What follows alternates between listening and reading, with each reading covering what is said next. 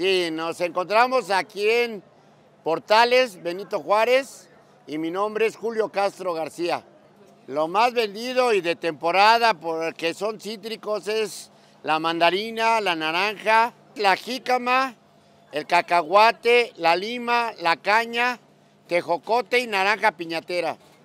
La tradicional siempre ha sido la, la estrella de cinco picos y luego la, la gente la pide la de siete por los siete pecados capitales. Y ya además picos ya son adorno, es vistosa, arreglo personal. Gerardo Martínez y estamos en el mercado de portales.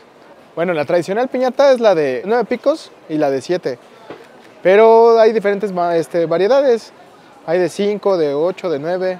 Lo tradicional es la caña, el tejocote, la naranja, la lima y las jícamas. Y actualmente se le echa dulce y juguetes, que es lo, lo, que se está haciendo actualmente.